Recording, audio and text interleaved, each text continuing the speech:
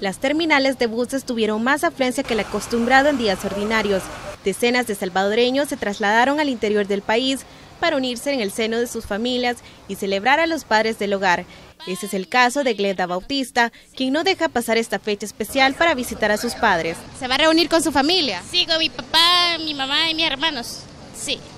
A pasar un feliz día con ellos porque gracias a Dios los tengo presentes todavía, mis viejitos ahí. Quiero ir a verlos y cuidarlos pasar un fin de semana largo con ellos. Para muchos, este será un fin de semana largo y por eso deciden visitar diferentes lugares del país.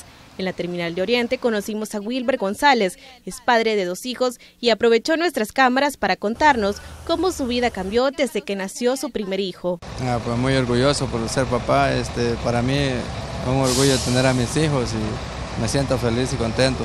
A pesar de ser un día festivo y para rendirle un homenaje a los hombres que luchan día a día por sus hijos, hay quienes prefieren no descansar con tal de obtener el sustento diario y llevarlo a su hogar. Pues aquí andamos, trabajando y ganando doble.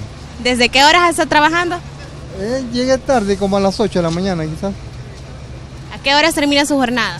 Ah, voy a terminar aquí como a las 7 de la noche, 7 a 8. Recuerde que las tres terminales de buses trabajarán en horario normal. Tómelo en cuenta, pues aún está tiempo para tomar su descanso fuera de la capital. Con imágenes de Israel Cortés, este es un informe de Pamela Valladares.